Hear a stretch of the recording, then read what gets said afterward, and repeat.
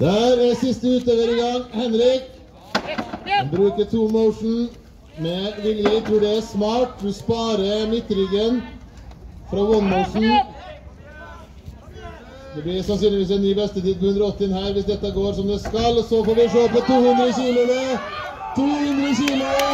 Kom igjen, Henrik. Rull den på plass. Rullende plass. Og så skyter.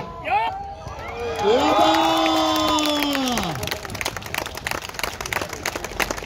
Og en liten helsvingstrekk for strekket.